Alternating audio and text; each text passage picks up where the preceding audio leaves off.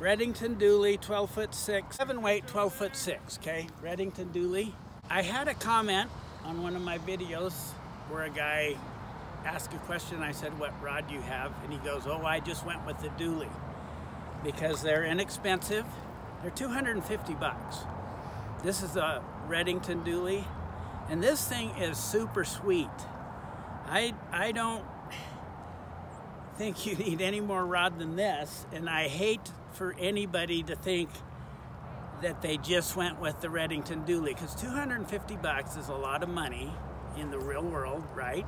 And this thing is butter. It casts so nice. Say you get on, invited on a guided trip and you only have a dually, but you can cast better than some guy who never practices and he has a, like a really expensive rod and he can't cast it.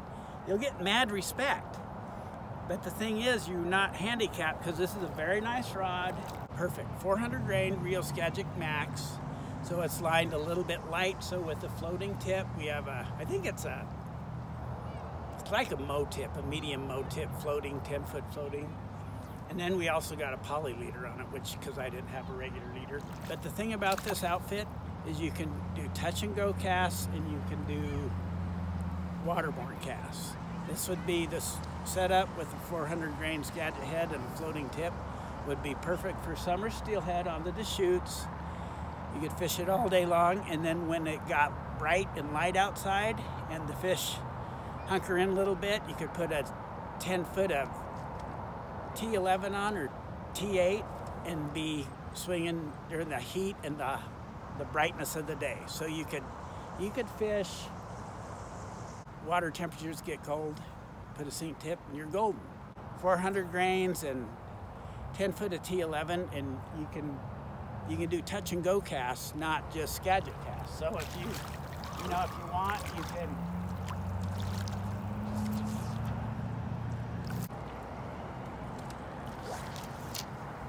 Okay, so the thing about this see it's a Skagit head and with a medium MOW tip or whatever this uh, is you can do Scandi casts all day long with it and put a sink tip on if you need and do Skagit casts.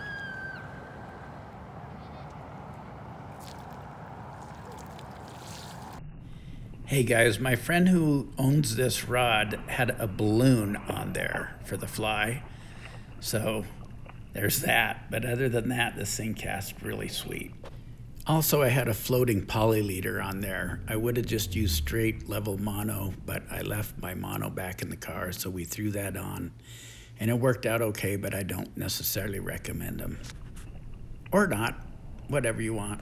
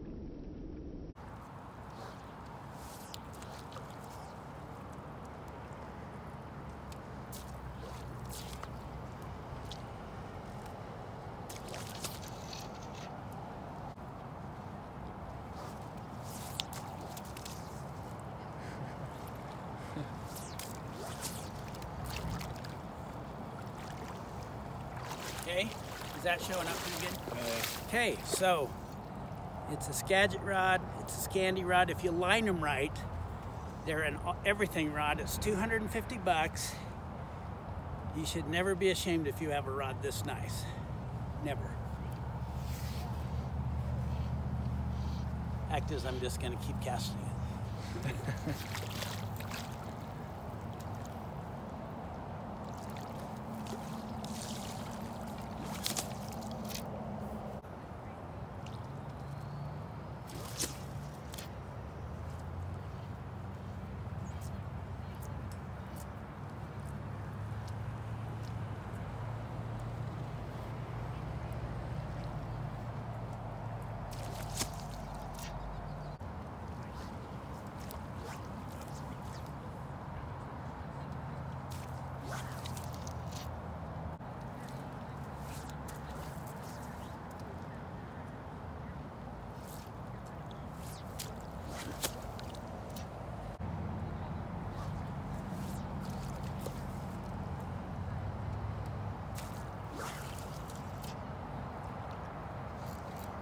one perfect cast.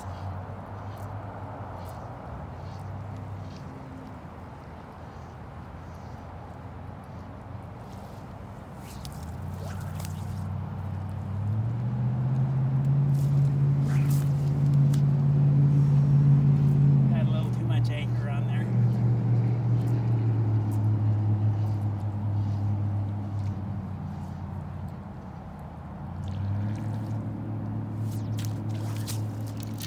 We'll take that. That is sweet, buddy. It's yeah. You should be proud of that rod.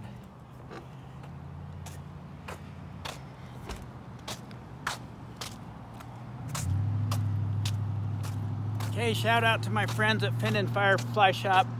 They've set these guys up with these really nice spey outfits that are quality and easy to cast. They get them all lined up right. And that's a great fly shop. If you want to get into the spey game and you're in Central Oregon, go to Fin and Fire in Redmond. Super laid back place. There's no creepy but there's no creepy vibe in there. The guys are all real nice. The guys and gals, super nice people, super laid back, no pressure, but they'll bend over backwards to help you. So shout out to them. Support your local fly shop.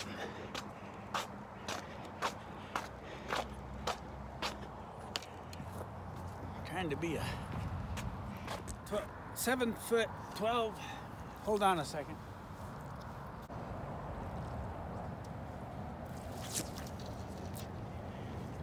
Underhand, not upside down.